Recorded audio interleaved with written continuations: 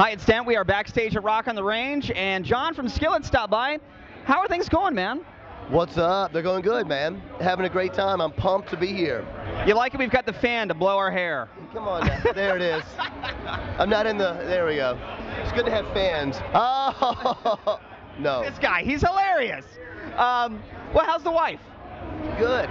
Yeah, she's here, of course. She's um, in the bus. And uh, been we've been touring like crazy, you know, for the last eight months. So uh, everybody's doing good. Though. Everybody's pumped. New fans, people singing the songs, people playing on the radio. What's up? Well, yeah. I mean, Monster's been a huge hit for us, and now Hero's coming out. And I, interestingly enough, I get a call almost every day. Someone's like, "Who is the female singer on Hero? Is that the is that the the, the chick from Flyleaf?" Or and I'm like, "No, no. They've got a couple females in the band. I have to explain to it." That's funny because um, I'm friends with Flyleaf, and um, I, w- I wanted Lacey to sing on it originally. I thought that'd be really cool because we're friends, and and um, in the end, I thought they have a record coming. She's not going to want to do it, so I never asked her. But our drummer Jen sings, and uh, I've heard a lot of people say that they think it sounds like Lacey, which I didn't think, but I was like, oh, that's funny. Yeah, that's a little bit. That's good because I love Flyleaf.